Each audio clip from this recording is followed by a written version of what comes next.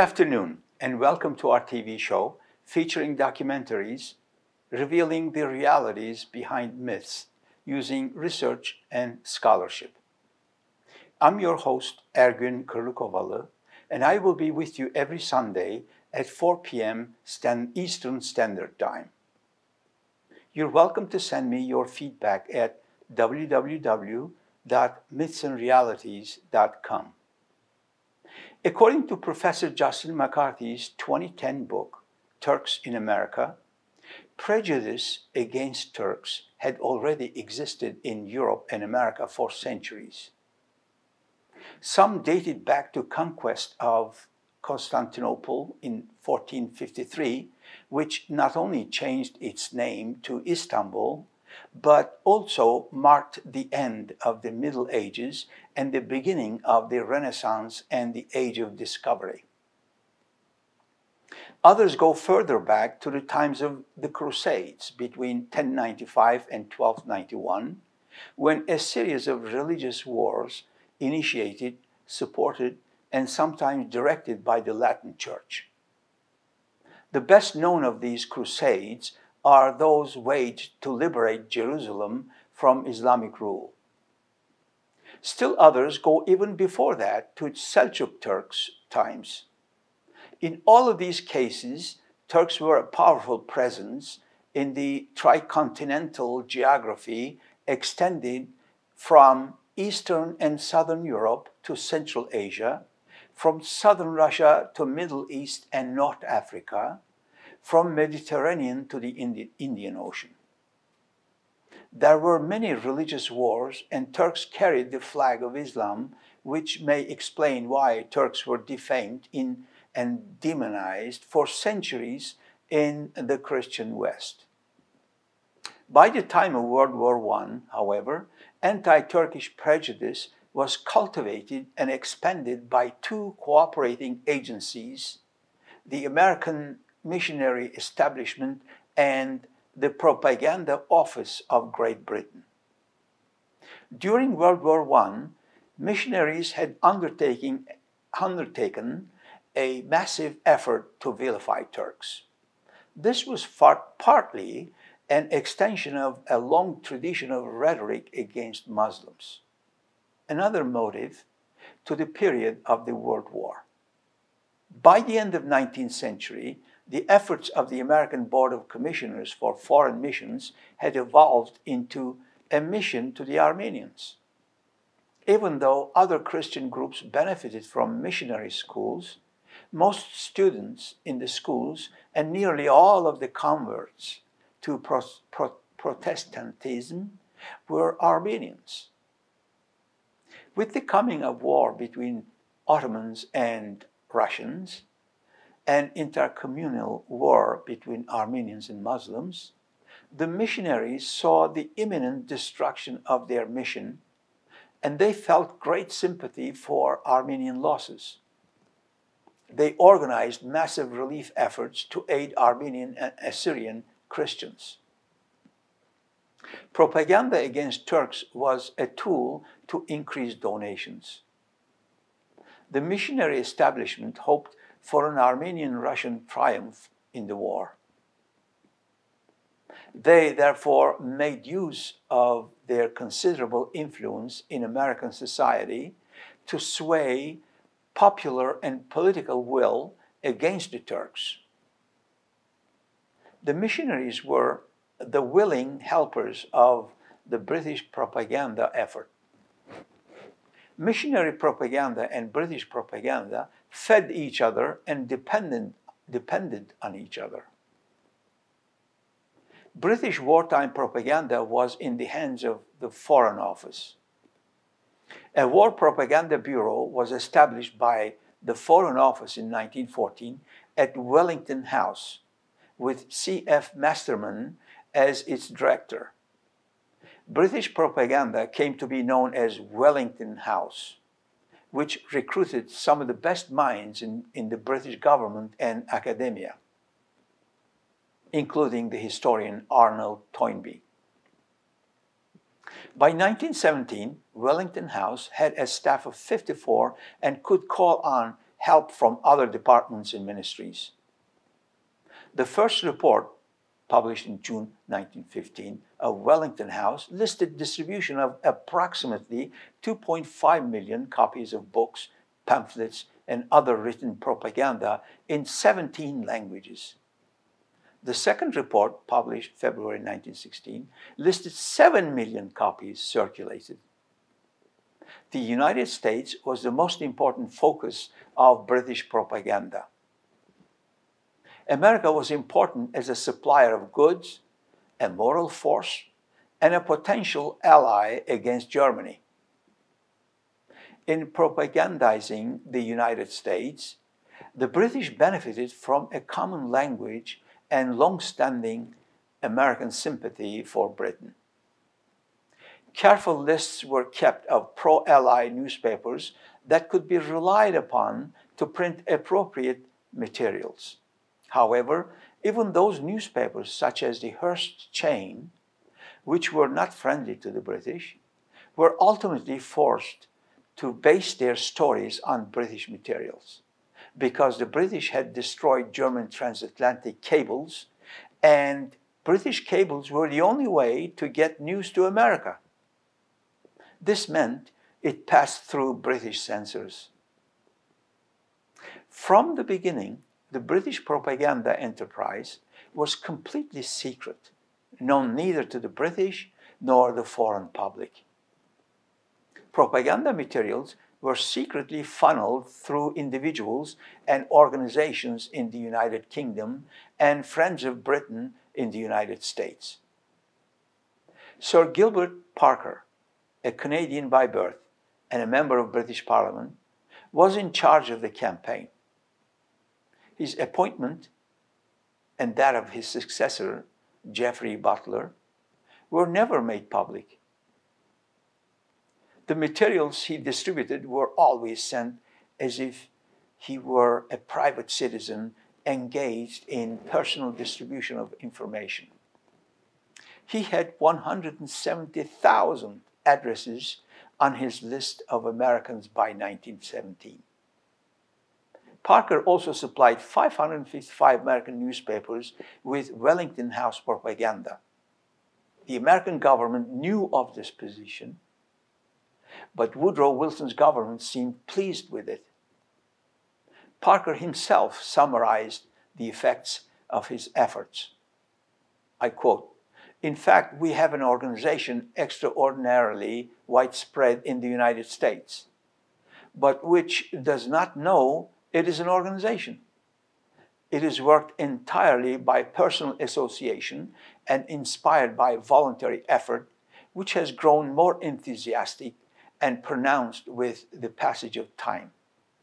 Finally, it should be noticed that no attack has been made upon us in any quarter of the United States, and that in the eyes of the American people, the quiet and subterranean nature of our work has the appearance of a purely private patriotism and enterprise. Unquote. Foreign Office documents record lists of propaganda material sent to the United States and distributed broadly. A British distribution list from July 1916 indicated that their propaganda reached throughout the opinion makers of American society.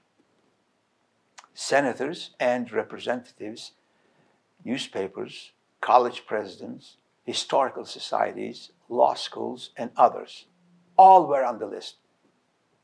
Most of those on the list received copies of all the propaganda material, and some asked for and received additional copies for distribution. Wellington House was successful in turning respected American organizations into its agents. The Carnegie Endowment for International Peace, for example, was cited by Parker as of particular help in distributing British propaganda materials.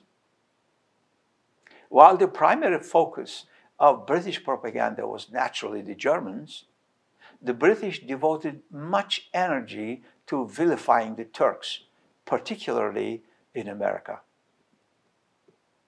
This was a part of the propaganda activity directed against all Britain's enemies in the war, but there were specific reasons for targeting the Turks. The British had agreed with their allies, France and Russia, that the Middle East was to be divided among them after the war.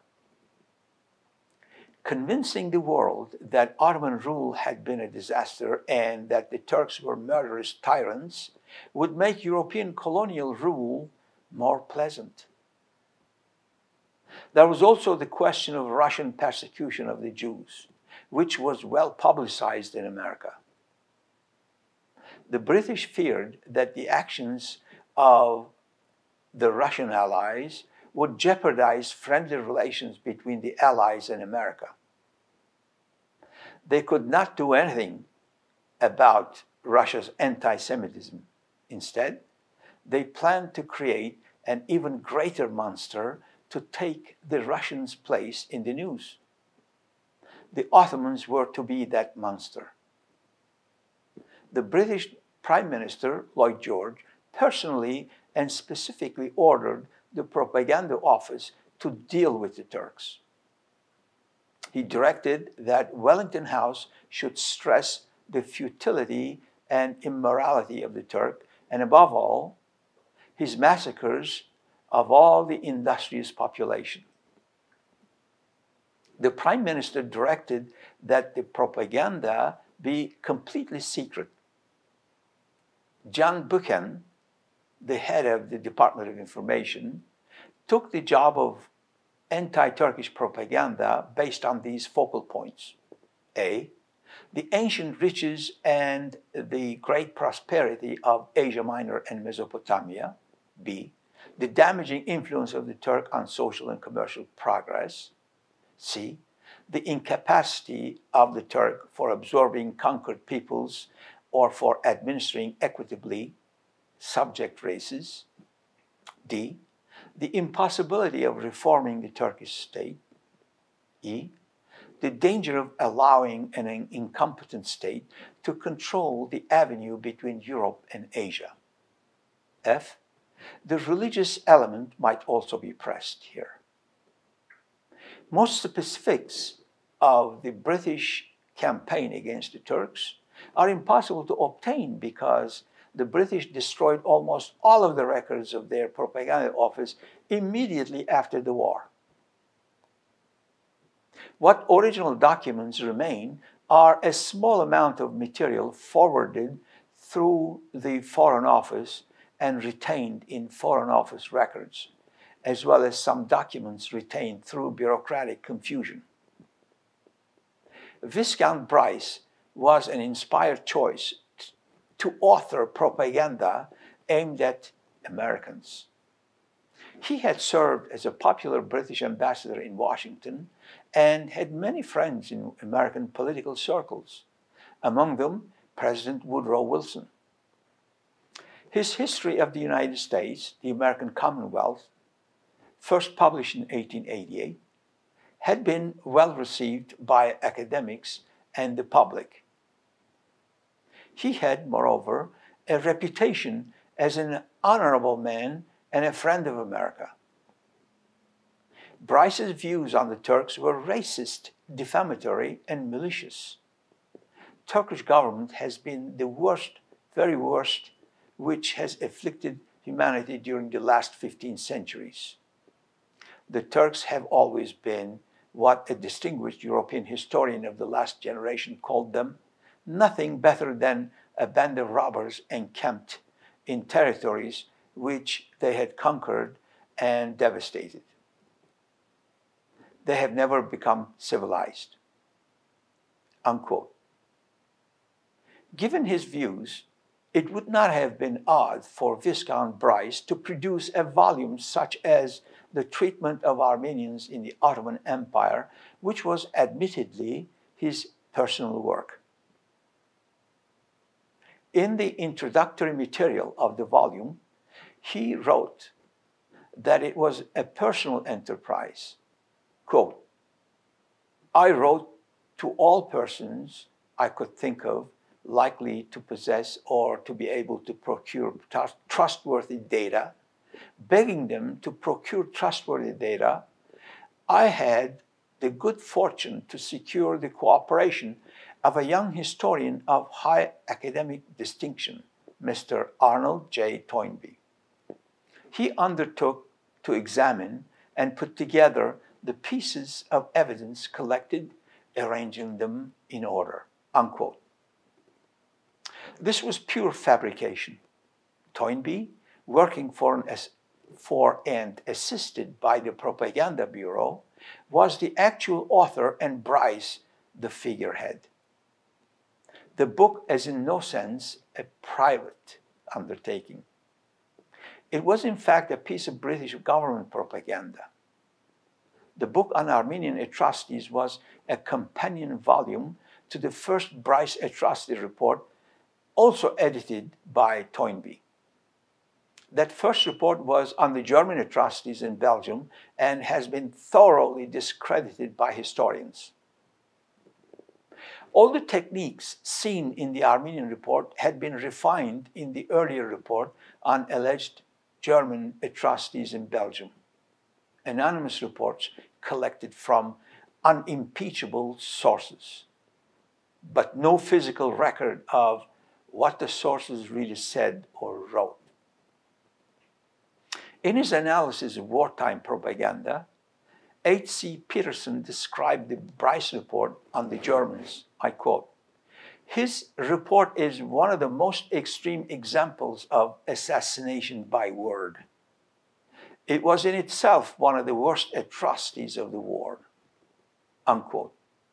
Interestingly, the same sorts of crimes appear with regularity in Bryce report of Ottoman Armenians.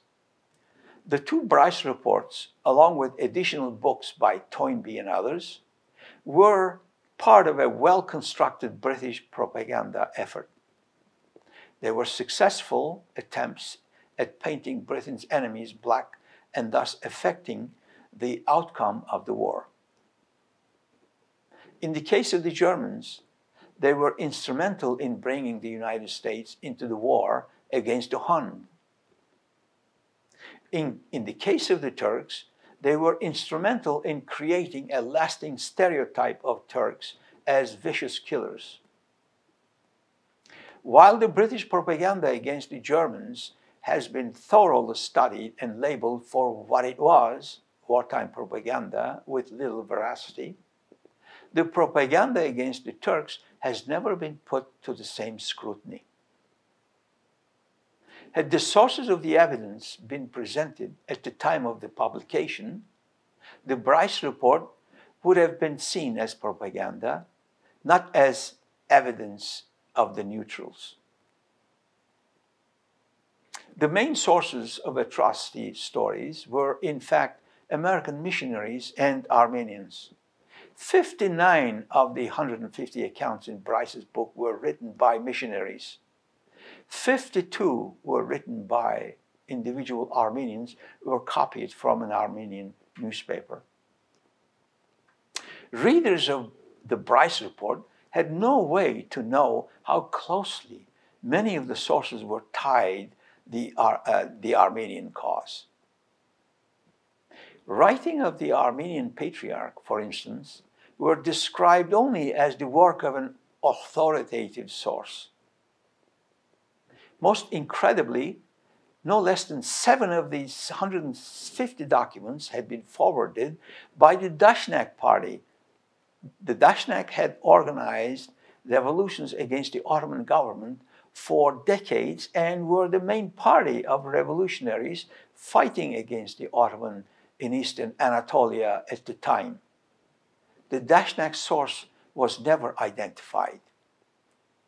Other documents were taken from articles in Armenian newspapers controlled by Dashnak sympathizers. A number of other documents were forwarded by Armenian political representatives such as Bogos Nubar, representative of an Armenian independence organization. The level of authentication in the Bryce report was outrageous. According to the secret document, most of the non missionary informants were known to the British only as Armenians. The British had no other information on their bona fides or veracity. 14, nearly 10% of the narratives had no known authors. The British had no idea who the authors were, but included the stories anyway. Still other reports were admitted into secret document to be based on uh, reports from unknown persons, not on the knowledge of the supposed author, because almost all of the other names were hidden as well. All these unknowns appeared in the Bryce report as if their identities were known but disguised. That was a lie. The treatment of Armenians in the Ottoman Empire was a total propaganda victory for the British. There was no one to represent the Ottoman case, and the Bryce report was taken as corroboration of the message that Americans were already receiving from the missionary establishment. Indeed, the use of the Bryce report in America created an interesting relationship the report itself was largely drawn from missionary and Armenian narratives, though it seldom identified the missionary and Armenian source, sources as such. The missionary establishment was also publishing reports from Armenians and missionaries. The, to convince American readers of the veracity of their reports, missionary organizations referred readers to the British reports. Missionary works on the Turks and Armenians often used phrases such as, Now our old friend Ambassador Bryce has proven our contentions. It appeared that they had found independent verification of their claims. In fact, the Bryce report was based on and perhaps exaggerated those same missionary and Armenian reports, the American missionary establishment was given advanced page proofs of the Bryce report on the Armenians so that it could be used in their own propaganda. The British also distributed parts of the report in advance of publication to American newspapers.